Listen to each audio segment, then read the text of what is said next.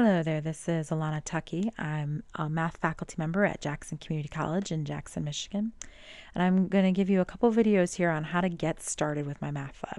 You've never used MyMathLab before, you need to get into a course, your professor's assigned MyMathLab. What do you do? All right, so you need to go to open a browser. I would recommend Mozilla Firefox. It's free and it's better than um, Internet Explorer. But you open up Mozilla Firefox and you go to www.mymathlab.com and you should see a page that looks something like this. Now, if you have um, gotten into the course for the first time, then from then on you'll use this little login button right here. But the first time you need to get into a course, no matter what, you need to click on the register button. So I'm going to click register and it opens up Pearson, MyLab, and Mastering.com, which is really the website we wanted to use anyway, but I figured that would be too hard to remember. MyMathLab.com is easy to remember. All right, so we go here. Now, again, normally, every day to day use, you're going to just, just be clicking sign in because you'll have registered. But the first time you get into a course, even people that have used MyMathLab before, you need to register. So you need access. So you are going to click right here under student. Now you need a course ID. Okay, so a course ID is your instructor's last name and then five numbers.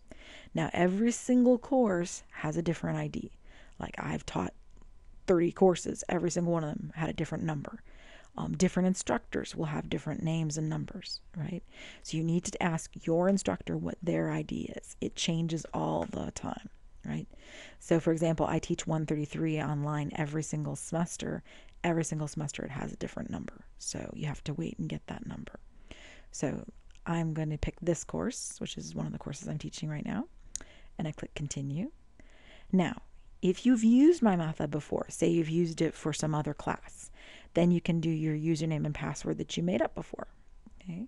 If you've never used my MyMathLab ever in your whole life, you're going to click on create an account. But before you do that, double check over here and make sure that the course that's coming up is what you wanted. This is an 033 course that I'm teaching in 11 of fall, so fall 2011. That's the course ID I typed in. It's taught by Alana Tuckey, that's me, and then Jackson Community College, and this is what it ends. If that doesn't sound right, then go down here to enter a different course ID and click on that. This is right though, this was the course I wanted. So I'm going to click on create an account because I've never been a student before. We'll just pretend. Now, you're going to have to put in an email address. You want to put in an email address that you actually check. Do not put in an email address you never use because that's not going to help anybody. Your professor needs to be able to email you. And if you give him an email that you never check, then that's no good. Now, notice over here, as you're typing in a password, it won't let you type in a password that's less than eight characters. You have to have at least one letter, one number.